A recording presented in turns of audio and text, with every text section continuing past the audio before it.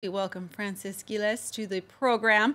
He is a senior research fellow at the Barcelona Center for International Affairs, as well as a former North Africa correspondent. Thanks so much for being with us.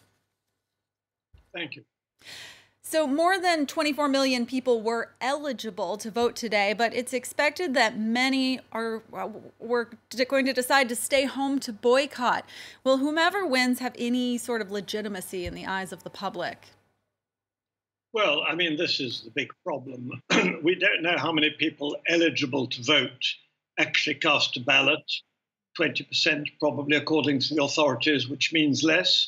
We do not know how many people are not on the electoral list because the electoral lists were revised in the last two months, but there was no independent checking.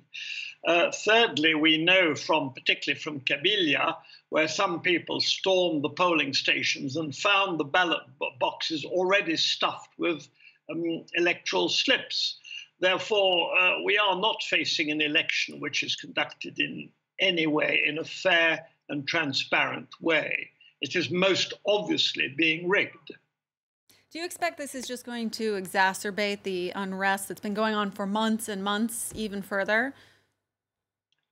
Well, the main thing, although we've had a bit of violence today, but not all that much, although we've had much greater repression in recent months, the, uh, the wisdom of the demonstrators has been shown again and again in resisting provocation and avoiding provocation and violence. The authorities, for their part, although they have pushed, they've jammed this election down people's throat, have avoided bloodshed. So one can only hope this continues because uh, violence on a big scale would be in nobody's interest in Algeria or abroad.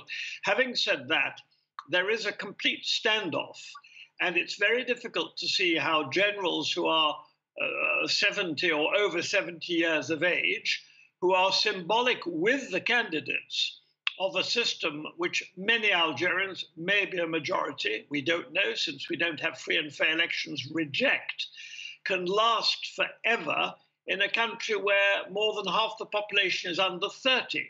And after 20 years of immense misrule by Mr. Bouteflika, one must add also that General Gaid Salah, who is the de facto head of Algeria, he has flung a number of people in prison, allegedly on corruption charges for being close to Mr. Bouteflika.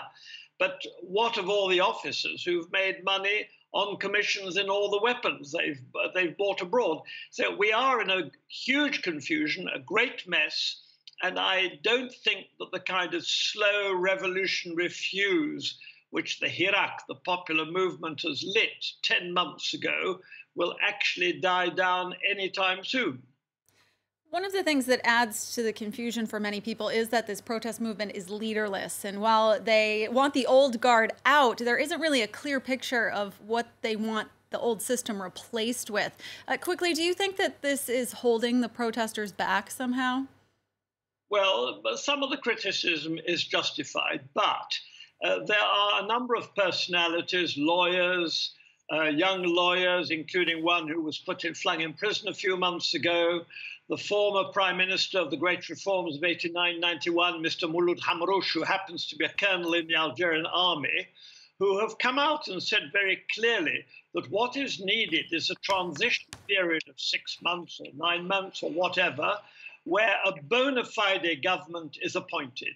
And it is very easy, if Gaid Salah was so minded, to appoint a government of all the talents. There is a lot of talent in Algiers, and if people saw younger and some older hands at the helm for nine months, I am quite sure they would believe that the generals were taking them at their word.